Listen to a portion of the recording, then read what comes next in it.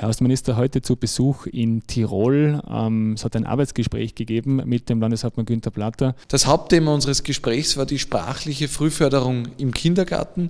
Meiner Meinung nach ist die Sprache die wesentliche Basis für eine gelungene Integration und da müssen wir bei den Jüngsten ansetzen. Die Sprache muss im Kindergarten gelernt werden, damit jedes Kind beim Schuleintritt so gut Deutsch kann, dass es dem Unterricht auch ordentlich folgen kann und das unabhängig davon, welche Muttersprache die Eltern haben. Und wir im Land Tirol unterstützen das schon seit dem Jahre 2008, dass wir im Alter von drei bis sechs Jahren die Kinder unterstützen, die einen Handlungsbedarf haben, dass sie die deutsche Sprache erlernen.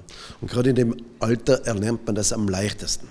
Und jetzt gibt es eine Initiative vom Bundesminister Sebastian Kurz, dass das, der Bund noch zusätzliche Gelder im Rahmen eines Staatsvertrages 15a-Vereinbarung zur Verfügung stellt. Wir investieren seitens des Bundes und der Länder in Zukunft 30 Millionen Euro für die sprachliche Frühförderung im Kindergarten pro Jahr, damit wir dem Ziel auch gerecht werden, dass jedes Kind ordentlich Deutsch lernt. Und wir nehmen zusätzlich noch äh, äh, zweieinhalb Millionen Euro in die Hand, dass wir eigentlich sehr viel Geld für diese sprachliche Frühförderung haben.